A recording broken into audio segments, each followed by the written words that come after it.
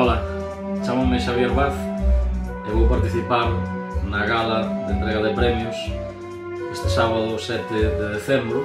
xunto a outros grandes músicos, compañeiros e sobre todo amigos que trataremos de deleitarvos nesa, nesa gala ambiental musicalmente. Eh, é un placer participar outro ano máis nesta cuarta edición, nada menos, que non diría, de este Festival de Cine con os grandes amigos están intentando impulsar, peleando para levar adiante non só por o cine, senón tamén por o Green Vila da miña familia.